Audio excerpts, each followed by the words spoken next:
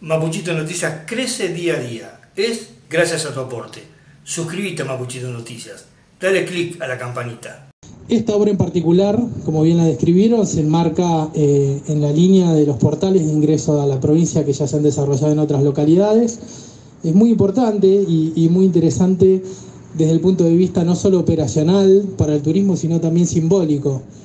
El Ministerio de Turismo de la provincia tiene tres ejes en su plan estratégico de trabajo, uno fundamental en la infraestructura, en este caso pública, pero también el desarrollo de la infraestructura con el sector privado y veo algunos representantes de los que trabajan articulados acá en Viedma y realmente los aliento a que sigan trabajando en conjunto a través de los improtures y de los diferentes espacios de articulación que tenemos porque el turismo se construye de esa manera, ¿no? Entre el sector público y el sector privado. Y los otros dos ejes de trabajo que tiene el plan estratégico tienen que ver con la capacitación, que es tan importante, y la generación de empleo. Un dato no menor, en Argentina en el primer semestre el primer generador de empleo fue el turismo, en todo el país, no solo en la provincia de Río Negro. Y eso es muy importante, no solo en, en el escenario actual, sino en el futuro. Nuestra provincia tiene un gran futuro en relación al turismo, más allá del presente que tiene.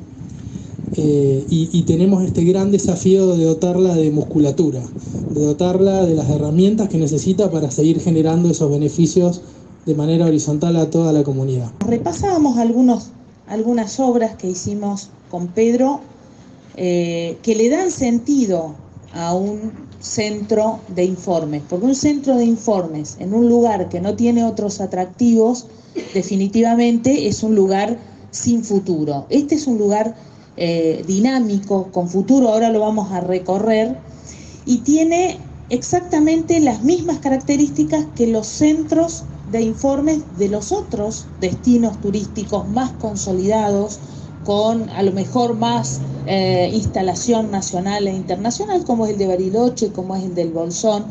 Empezamos por Río Colorado, siendo yo ministra y Beretignek el gobernador en ese momento, hicimos el del Río Colorado, que fue el primero a partir de la ley de infraestructura turística.